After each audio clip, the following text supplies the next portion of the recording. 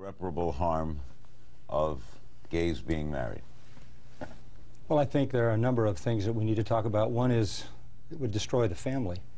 I mean, obviously, God designed the family to be a man and a woman to produce a child. It is the DNA, it's the genetic structure of civilization.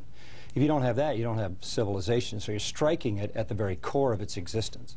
But what does the state have to do with that? You, God can do it, and as a religious person, you can practice it, but why should the state be involved in a marriage?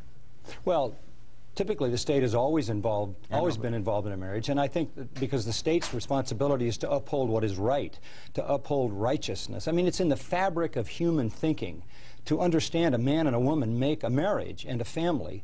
God has put that in the very thinking of people. It's in the heart. It's there. The state upholds that standard. Always has in every state in every human history, factor of human history. Do you favor civil unions?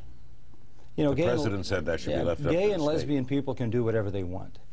Uh, they can do that in this culture or any other culture, but they don't have the right to determine marriage for a whole nation. So it's it's the marriage aspect, not this. If a state wants to pass that civil unions are Right. okay to give We're rights. talking about two things, Larry. Okay. We're talking about an issue of civil union. That's a civil issue. If you ask me about whether it's moral or whether it's right, then it becomes a biblical issue. That might come up later, but Okay. we're not. We're but a civil issue, Okay. sure, they have the right to make a relationship if they want. Chad, why